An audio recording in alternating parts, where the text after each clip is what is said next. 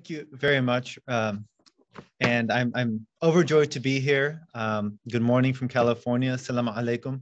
Uh, it is a balmy, well, cold for us, 70 degrees, but you know, we'll, we'll take it. Um, so uh, again, I'm, this is some research that I'm presenting that was a chapter in my dissertation that I'm reworking into an article that I, uh, I will submit to the, the Muslim world. Uh, and so I'm very much looking forward to hearing your feedback on this presentation. Um, so give me a moment to share my slides with you. And I'm hoping these would prove to be fruitful in uh, helping you follow along. So, okay. So polemicist, apologist, or missionary Rashid Rida's Tariq al-Dawah. So just a brief introduction. Uh, as an intellectual leader of modern Salafism, and a critical link to modern Islamic thought. Muhammad Rashid Rida was perhaps the most important Sunni Muslim scholar of the 20th century. Although Rida did not often engage in public debates with Christian missionaries, he did use his journal Al Manar as a platform to debate with other Christian missionaries and as a mouthpiece to critique Christian missionary literature.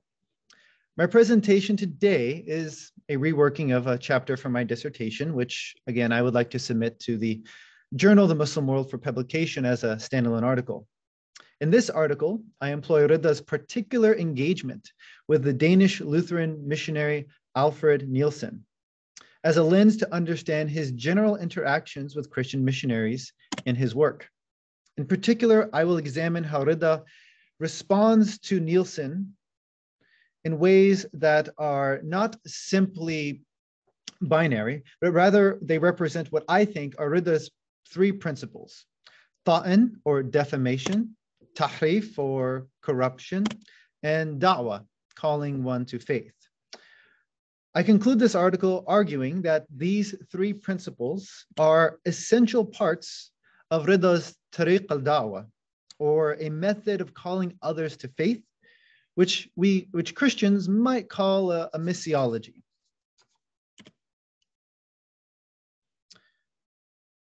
So throughout Rida's engagement with contemporary Christians, he repeatedly appeals to the belief that Christians are harming the Muslim community and insidiously undermining the Muslim faith. To understand this foundational disposition, it is important to understand Rida's notion of ta'an. In a 1927 fatwa response to Nielsen, who asked about the controversy and conviction of Taha Hussein, Rida employs the concept of ta'an to explain the conviction. At issue was Hussein's 1926 publication on pre-Islamic poetry, which he claimed that a substantial portion of pre-Islamic poetry had been fabricated to retroactively establish a foundation for Islamic doctrines, Quranic grammar, and the context of the Quranic revelation. In his letter, Nielsen points out to Rida that if everything said against another religion was ta'an or defamation, then it would be impossible for Jews, Christians, and Muslims to live together while holding distinctly different beliefs. Nielsen was particularly interested in asking Rida about Hussein's case as he used it to segue in his letter into engaging Rida's critique that Christian missionaries were only interested in defaming Islam. Rida responded to Nielsen's question by defining ta'an as a word that originally meant to thrust or stab a, a lance into one side, or to rebuke, insult, deny, or orally disregard somebody. Rida focused on the term's emphasis on intentionally inflicting harm, either physically or emotionally. According to Rida, Hussein inflicted ta'an on the Islamic tradition in that he intentionally and, quote, painfully hurt the Muslim community in his work, and consequently rebuked the Islamic tradition. Rida, however, did not consider Nielsen's writings ta'an, for he did not think that a Muslim, Christian, or Jew engaging with each other's sacred text necessarily counted as ta'an, as long as they did not transgress their moral obligations in their critiques. In other words, a Muslim, a Christian, or a Jew could not commit ta'an by simply questioning the other's religious text or tradition. This is consistent with Rida's self proclaimed standard set out by the Quranic injunction not to argue with one another save in the most kindly manner. Thus, from this case, we can state that Rida's notion of ta'in required the perception that one intentionally and morally transgressed against another religious person or community. In his writings, Rida leveled the accusation of ta'in in his differentiation between the wise and virtuous Christians and the quote paid preachers. In Rida's first fatwa reply in 1924 to Nielsen, Rida employed the notion of ta'in in response to Nielsen's question regarding whether Muslims, quote, consider Christian missionaries, Christian missions in the Muslim lands as corrupting and indecent, even if they are fair and without ta'in. Nielsen also asks Rida and Muslims in general, quote, consider the enthusiastic Christian who is keen on propagating his religion, and the one who neither practices religion in his life nor works to propagate it among others as being on equal footing. Rida responds that Muslims are capable of using God's gift of reason to differentiate between those good missionaries who do not defame other religions and work fairly on the behalf of others, and those, quote, zealous missionaries who exploited their position for political gain and money. Rida remarked that in his hometown, he used to have many discussions with Christians who, quote, preached their religion on the basis of manifesting its values on the basis of solid knowledge and keeping abreast of honesty and blamelessness. Rida respected these Christian missionaries, even though these Christians were financially supported by mission agencies. Interestingly, Rida seems to have respected these missionaries because the critiques they made against Rida and the Islamic tradition were with a sincere concern for the truth and for the good of their Muslim dialogue partner. Yet Rida believed that this early missionary encounter was a unique event. By the time Rida was writing to Nielsen in 1924, he had come to believe that most Christian missionaries sought to defame Islam and Muslims. Rida made this clear in his critique of missionary publications, which he believed were produced solely to ridicule Islam and cause Muslims to doubt their faith.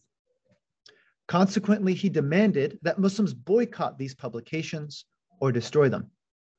Christian missionary activity for Rida was worse than brothels or clubs.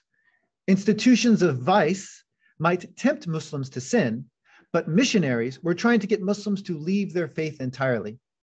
Thus, although Rida encountered some wise and virtuous Christians in his youth, he had become antagonistic towards Christian missionaries in general because he saw them committing ta'an against the Muslim community. An example of this position that Christian missionary publications are vehicles for ta'an can be seen in two articles he published refuting Temple Gairdner's Arabic journal Asharq wal Gharb. In April 1916, Gairdner published an article that disputed the legal authority of the hadith based on Ignaz Goldziher's argument that much of the hadith literature was fabricated after the Prophet Muhammad's death to justify contemporary theological or political positions. In fact, Gairdner was skeptical of the authenticity of nearly all hadiths ascribed to the Prophet. And this skepticism led him to conclude that if the traditions ascribed to the Prophet are unreliable, then the system that undergirds the Islamic tradition should be disregarded. Rida accused Gairdner of not taking the effort to engage with Islamic scholarship in discerning the veracity of his claims. He believed Gairdner was only interested in polemically casting doubt on Muslim beliefs to make converts so that his organization would look successful. In fact, Rida frequently alleged, quote, paid preachers like Gairdner were not engaging in seeking the truth, but sought polemical engagement solely for the purpose of looking good to one's mission agency. According to Rida, such insincere polemical preaching and publication for the sake of money was the purest form of ta'an. That is why in 1924, Rida wrote, quote, all missions dispatched by the Christians to the Muslims were corrupt and indecent, end quote. The problem was not Christians per se, forgive me, when it's not Christians per se, as this was not a critique against Arab Christians. The problem is with Christian missionaries and their agencies who are committing ta'in through their publications to defame Muslims for the sake of profits. Rida's second principle in engaging with Christian missions concerns the issue of scriptural authority and the corruption of scripture or tahrif. Rida discussed these issues in his responses to Nielsen's first and second letters. In his first letter, Nielsen asks why Muslims do not seek to study the Bible when there is the hadith, seek knowledge, even in China. Nielsen also asked Rida if preaching from the Bible does not deserve the appreciation of Muslims because, quote, it either acquaints oneself with the benefits that he had not acquired before, or makes him, after deep contemplation, prefer his own book. In his second letter, Nielsen challenges Rida by asking why he did not engage with the quote call of Christianity, since Rida was aware of Christian texts and Christian evangelism. Nielsen seems to be posing these questions to challenge Rida to consider the Bible as an authoritative scripture that must be taken seriously as a source of truth and a foundation for faith. Although Rida based much of his critique of the Bible on Quranic accounts of previous scriptures, he elaborated on his claims using the standards of Islamic sciences or hadith. First, he argued the Bible, the biblical text, does not rise to the standard of tawatur, something that is widely attested in a clear lineage of transmission, where all the transmitters are reliably authoritative. Rida asserted that the Quran and many hadiths about the Prophet Muhammad are thoroughly attested and well documented in their tawatur isnads, their widely attested, uninterrupted chains of transmission. This is in contrast to the narratives of Jesus in the Bible, which Rida thinks have few verifiable claims of transmission from their original authors. He points out that the Gospels are witnesses accounts of singular authors based on only a few witnesses, which are not corroborated by other narrators. Rida was especially skeptical about the quality of these eyewitness accounts, especially when it concerned the accounts of Jesus' crucifixion and resurrection. In a co-authored text with Muhammad Tawfiq Sidqi entitled Aqidat al-Salib uh, wa uh, al-Fida, the doctrine of crucifixion and redemption, Rida combines traditional Muslim polemics with contemporary psychology to argue the crucifixion and resurrection accounts are not tawatur because their narrators were in a irrational psychological mental state. Rida's argument against the veracity of the crucifixion recapitulates a classical Muslim argument that instead of Jesus, the Romans put someone who looked like Jesus because God changed this man's appearance to look like Jesus. Regarding the resurrection, Rida argued not only did the authors not personally witness the event, but the fact that Mary Magdalene initially doubted her encounter with the resurrected Jesus constituted a weakening of the narrator's veracity. If Mary Magdalene, along with the disciples, were initially uncertain about Jesus' resurrection, then Rida considers this an uncertain account, and therefore not tawatur. Additionally, Rida points out that Mary Magdalene was not reliable witness because she was of immoral character and had been afflicted by devils. Therefore, according to Rida, the standards of the gospel accounts of Jesus' crucifixion and resurrection do not rise to the level of tawatur, making them unfit for informing one's faith and practice. Rida then employs contemporary understandings of human psychology to argue the narrators of the crucifixion and resurrection might have been suffering from hysteria. Both Sidqi and Rida believed Mary and the disciples were overcome with a hysteria of nervous excitement from fear or sorrow over the apparent loss of Jesus. In such circumstances, people can imagine events such as dead people talking to them or hysterical visions. Rida elaborated on this point using Gustave Le Bon's idea discerning quote or concerning quote the suggestibility and credulity of crowds in his book The Crowd, a study of the popular mind. Rida was particularly drawn to Le Bon's discussion of communal thought through shared imaginaries and how such Im- images can cause the creation of subsequent images with no connection to the former reality.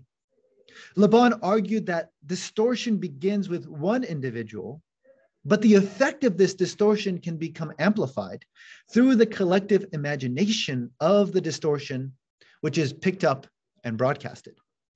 This contagion of distortions are called collective hallucinations. Rida argued that if these psychologists were correct in that collective imagination can affect people's memories, then he argued it is possible that the witness accounts of the crucifixion were suffering delusions. In other words, if those who related Jesus' resurrection were hysterical to the extent that they saw things that were not really there, i.e., Jesus on the cross and a resurrected Jesus, then how can one rely on their testimony? Thus, Rida concluded that based on the standards of Tawatur, which stipulates numerous pious and rational narrators, the biblical narrative of the crucifixion and resurrection fail to attain that standard. Rida's skepticism towards the authority of the biblical narrative, because of a lack of tawatur reliability, leads to his conclusion that the biblical text is susceptible to and in fact has suffered corruption. In his fatwa reply to Nielsen's first letter, Rida argued the Bible no longer bears God's truth because it has fallen victim to tahrif, intentional corruption. Specifically, Rida pointed to the Quran's claim that Christians, quote, have been given a portion of the book, but, in a, but a section of them have turned away. The Quran also claims that Christians and Jews, quote, changed the words from their right places, and forgot a good part of the message that was sent to them. End quote. Although Rida bases his arguments on the Quranic text, he believed that Western biblical criticism vindicated his arguments for the authenticity of the Muslim scriptures and undermined the authenticity of the Bible. An example of Rida's use of European biblical criticism was his utilization of the newly discovered Hammurabic Code with Friedrich Delitzsch's work Babel und Babelstreit. In 1903, Delitzsch gave a lecture in the Deutsche Orientgesellschaft before Emperor Wilhelm II, where he argued that the narratives of the Hebrew Bible borrow from Assyrian mythology. His lecture examined the particular relationship between the Mosaic laws and the Hammurabic codes, affirming that the latter informed and influenced the former.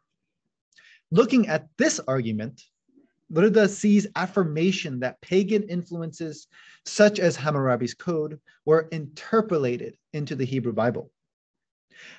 Based on his conclusion that the biblical text has been compromised through tahrif, Rida asserted that Christians believe in illogical propositions. And Christian missionaries are trying to get Muslims to follow illogical beliefs. Rida claimed that this was not a position only he held. He alleged that many Christians personally told him that the doctrines of the crucifixion and salvation and the Trinity cannot be proven rationally. This, he argued, is in contrast to Islam, whose fundamental doctrines conform to human rationality. For example, Rida thought it was incredulous that Christians believed God could not find a way to, quote, combine his mercy with his justice, except through the incarnation into a human being, Jesus, who would bear pain, torture, and curse in order to salvage humanity for punishment, end quote. Rida found it equally nonsensical that God would require people to believe in such irrational doctrines to merit salvation. It is because of these irrational doctrines rooted in corrupted texts that Rida tells Nielsen he is not interested in heeding the quote call to Christianity. Now, before moving on to Rida's concept of da'wah, it would be appropriate to pause for a minute and re-examine the relationship between Rida's conception of ta'an and his polemic of tahrif. Uh, Rida was open to critical discussions of the Islamic tradition so long as Christian missionaries did not malign sacred beliefs of the Muslim community, such as the coherency of the Quran, malign the community itself, singling Muslims out for negative treatment, or transgress the ethical standards of conversation as set in the Quranic passage 2946. On the one hand, Rida disapproved of Christian missionaries critiquing Islam, calling them acts of ta'an. On the other hand, Rida was open to Christians, Jews, and Muslims critiquing one another's scriptures so long as they remained within their, quote, moral obligations. This creates a tension between what constitutes legitimate criticism, morally obligated critiques, and what constitutes ta'an, Christian missionaries critiquing Islam. This is particularly the case when we look at Rida's work on tahrif as a polemic against Christianity. As I previously discussed, Rida accused Christians and Jews of intentionally corrupting their scriptures and inserting additional beliefs into what God revealed to his messengers. Rida based this accusation on the Quranic text 513, which Rida used as a warrant for making his claim of tahrif. If ta'an is an act that is outside of the moral obligations of one's tradition, then it seems that Rida used the Quran to justify his polemics as within the boundaries of God's own critiques against Christians and Jews. In other words, Rida did not seem to believe his accusations of tahrif were acts of ta'an because he believed he was explicitly explicating a claim already made in the Quran and thus making it within his own personal moral obligation. Rida's confidence in the power of Quranic claims comes his, from his belief that Islam teaches what is fundamental to all human nature. And Rida highlighted this point in his first fatwa response to Nielsen's question, quote, who is better? The one who adheres to a religion right af- uh, after conviction and practices it in his life, or he who remains in the religion of his ancestors without inner belief, nor adapting his life according to the highly ranked and celebrated values of religion. Rida responded that the adherent of a religion is the only sincere follower if they are convinced by the truth of that religion. Quote, submitting psychologically and practically to it by performing worship, steering well clear of all prohibited acts, and committing to all its rulings and ethics, save the slight infringements for which he shows remorse and seeks divine forgiveness. End quote. Rida asserted that such a conviction can only be had with Islam because Muslims are not required to believe anything logically impossible. This position stands in particular contrast to Christian doctrines such as the Trinity and the Incarnation, which are presented as holy mysteries and not logical proofs. Thus, Rida was certain that Christian missions were futile, as they were asking Muslims to follow beliefs that were not in accordance with human reason. Now, although Rida did not believe in the potency of Christian missions amongst Muslims, he was perturbed by the number of Muslims who began questioning their faith after engaging with Christian missions. Rida's certainty of his beliefs and his concern over the seemingly deterioration of his fellow Muslims' beliefs highlights the third principle through which we can better understand Rida's engagement with Christian missions, da'wah, or calling to faith. Rida envisioned three different concepts of da'wah in his work. Rida's first conceptualization of da'wah is towards the Muslim community. Rida believed Muslims had become ignorant of their faith and that Christian missionaries and colonists have been exploiting their weakness. The second way Rida conceived of da'wah is towards non Muslims. Rida believed that Islam was in and of itself appealing to all people and that it was the duty of all Muslims to call the world to follow the Quran and the teachings of the Prophet Muhammad. Rida's third conceptualization of, of da'wah is the fitrah, the internal natural human disposition to worship God. Although Rida does not explicitly use the term da'wah in relation to fitrah, he argues that it is human nature to have a fitrah that calls one back to truth and worship. In this section, I will suggest that Rida understood this inner natural calling of one's fitrah as a foundational da'wah upon which he bases his understanding of da'wah towards Muslims and non-Muslims. Rida's first two conceptualizations of dawah were formed in a dialectic with Christian missionary schools. Although Rida was initially positive about missionary schools and the Western advancement of science and technology, his attitude changed over time to suspect all Western in, uh, intervention as part of colonization. He believed colonial nations used missionary schools to reshape their colonies into Christian nations. He believed colonial nations, uh, sorry, although missionary schools often required their students to attend church and listen to lectures on Christianity, Rida was not concerned that Muslims would convert to Christianity. Rather, they would become atheists because Christianity was illogical. He believed if a Muslim did convert to Christianity, it was due to poverty and a desire to re- receive missionaries' financial aid. this, Rida emphasized, is unlike Westerners who convert to Islam, like Baron Lord Headley, an Irish aristocrat who converted in 1913. Although Rida did not believe that Christian missionary schools would convert Muslims to Christians, he was irritated that Muslims entering the missionary schools would leave doubting their faith. He believed students attending such schools would become ignorant of their own faith, give, give precedence to foreign languages over Arabic, and develop lax morals and become antinomian. Despite these concerns, Rida was unclear in his writings concerning missionary schools. On the one hand, he did not forbid Muslims from attending these schools. In fact, he selectively recommended missionary schools as a means to learn Western scientific advances in order to better integrate uh, these advancements into the Islamic tradition and the Muslim world. On the other hand, however, he did not fully endorse Muslims attending these schools. Rida believed that the reason Muslims sent their children to these dangerous schools was because there was not a similar Muslim school.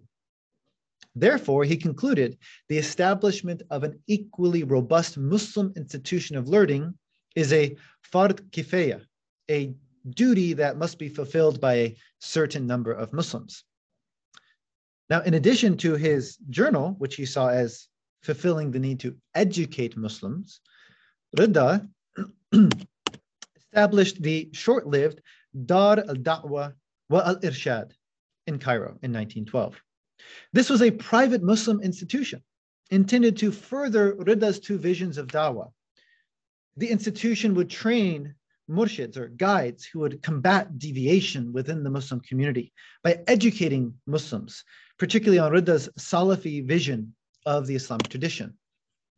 Additionally, the institute would train du'at or preachers to spread the Muslim mission to non-Muslims and defend Islam from missionaries.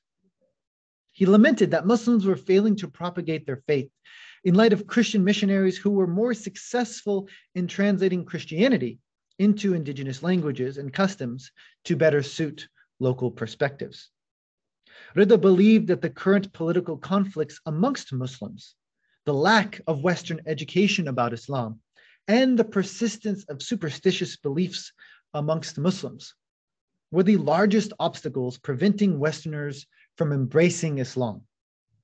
Rida even wished for a group of educated Muslim missionaries in America and England, quote, to uncover the swindle of politicians and missionaries who have caused enmity and animosity between Islam and Europe, end quote. He believed this would lead people in those countries to embrace Islam in droves. And thus, he hoped his institution would begin to heal the Muslim community from within while spreading Islam abroad.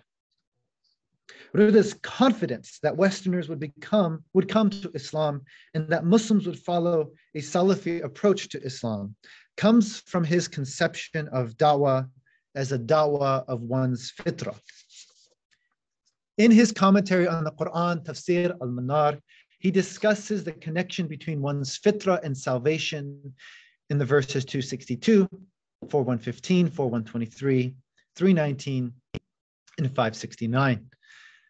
Rida's general argument was that the fitra calls all humans back to the worship of God, which is Islam, and that this is consistent and a constant internal calling that resonates with reason and revelation.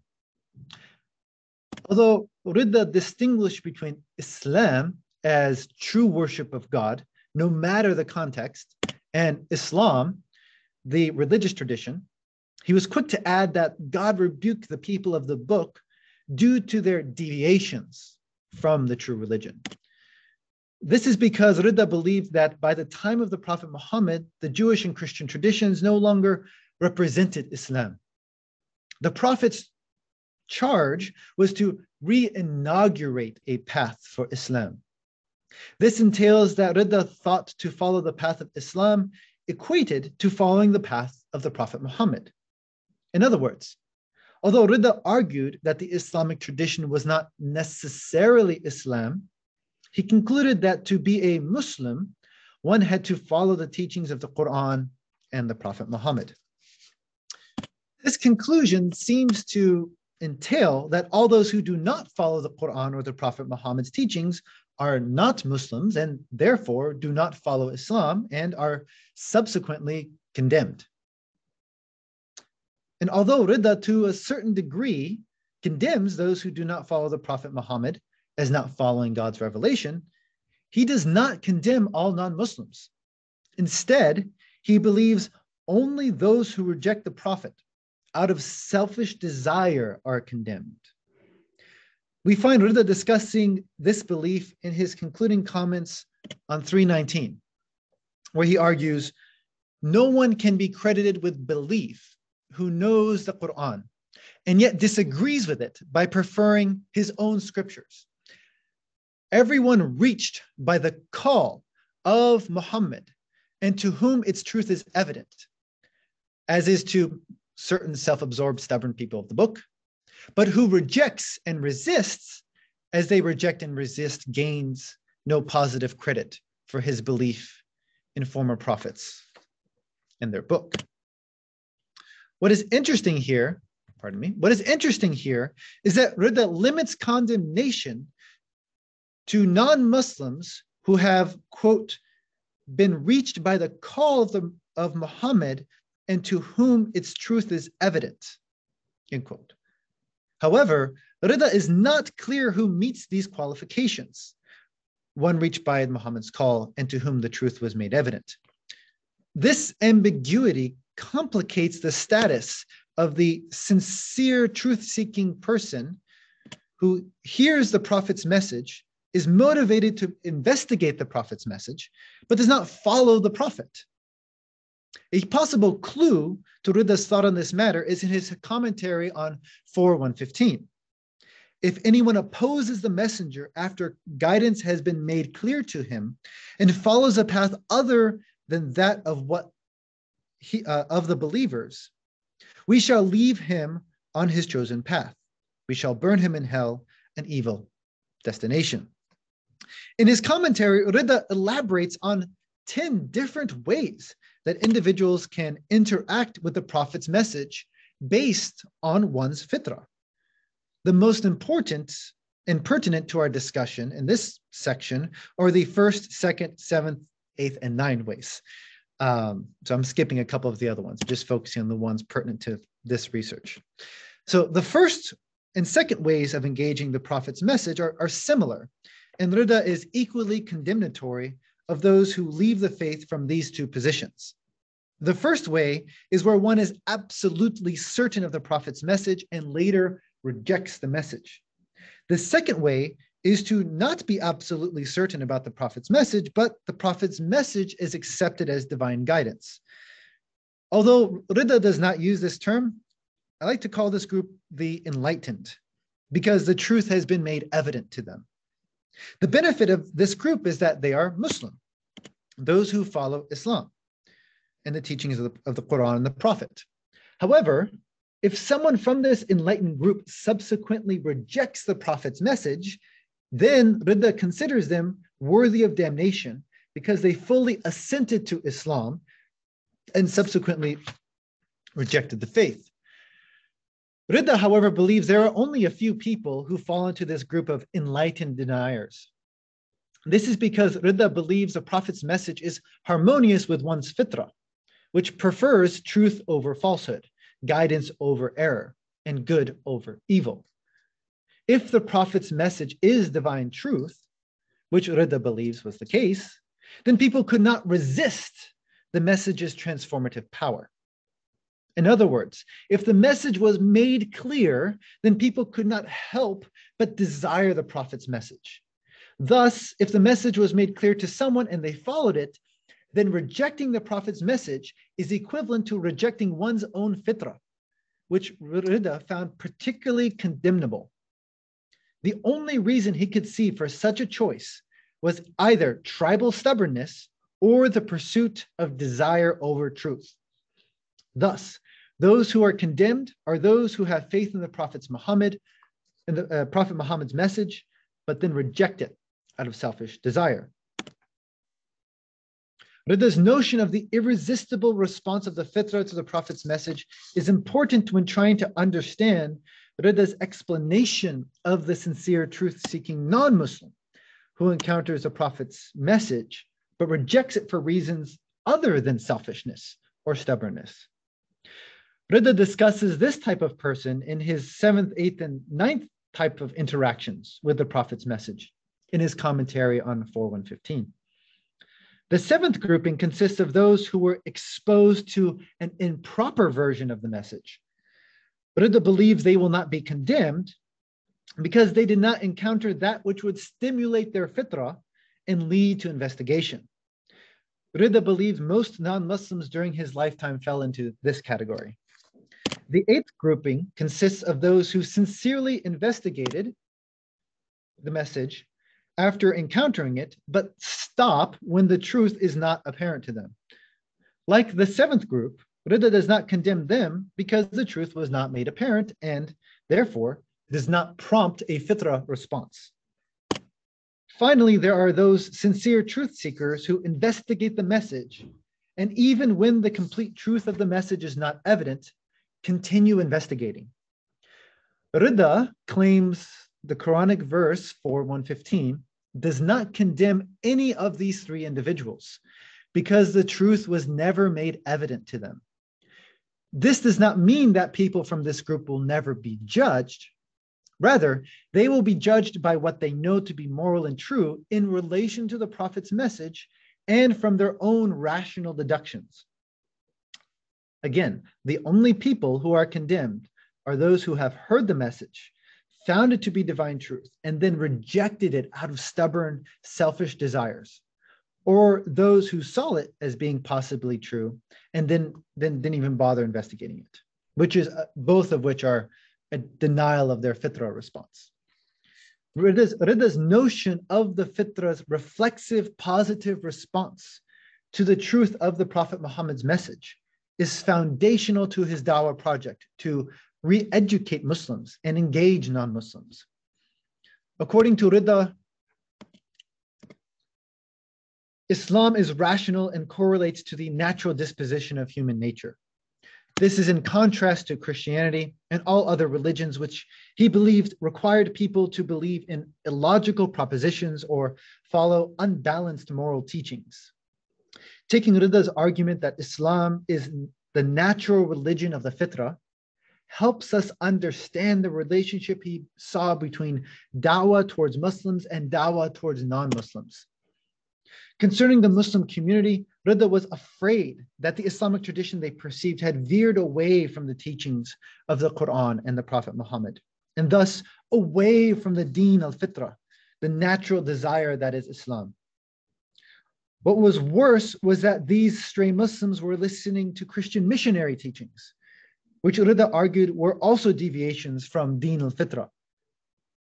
Thus, Muslims were not only veering away from the deen al fitra, from within the Islamic tradition. But they were listening to teachings that would further lead them away from the right path. So in this article, I have argued that incorporating the three parts, the three paradigms of ta'in, tahrif, and dawah provide an explanatory potential for understanding Rida's approach to Christian missionaries. I suggested these concepts of ta'in and tahrif help us understand why Rida was affirming of the Christian religion as a general concept, but not of Christian missionaries in particular. Rida was amenable to Christian missionaries as long as Christians respected the beliefs and prophets and sacred texts of Islam, but not but did not malign specific Muslims or the Muslim community. This is evident in his interaction with Nielsen and his claim that he had such relations in Tripoli. His paradigm of tahrif helps provide a method by which Muslims can emphasize the inherent truthfulness of the Quran and the Muslim faith. By taking a theological perspective of Rida's concept of da'wah, we see that the apologetic and polemical project of tahrif is part of a larger project, convincing non-Muslims and Muslims of Islam's truthfulness. By incorporating these three principles, together, we have a more robust understanding of what I term Rida's tariq al-dawa, or path or method of calling one to faith. Although this tariq al-dawa is not synonymous with missiology, it is like a Christian missiology in that both contain praxis and theology. With respect to praxis, Rida presents moral paradigms, ta'in, and apologetic and polemical paradigms, tahrif, and has incorporated these into a curriculum for training Muslims to do dawah against non-Muslims and Muslims alike in his institution. I've also presented Rida's theology of dawah as one's fitra response, as providing explanatory power for Rida's understanding of Islam's inherent truthfulness and the manner in which Rida dealt with non Muslims who sincerely investigated Islam but were not Muslims, such as Nielsen. I am not suggesting that these three principles are the sum total of Rida's Tariq al Dawa. Rather, I am suggesting that if we want to present and understand Rida's missiology, or better yet, his Tariq al Dawa, then there needs to be much more research that connects Rida's theology with his engagement with non-Muslims. Thank you for the time, and I am looking forward to your questions and comments.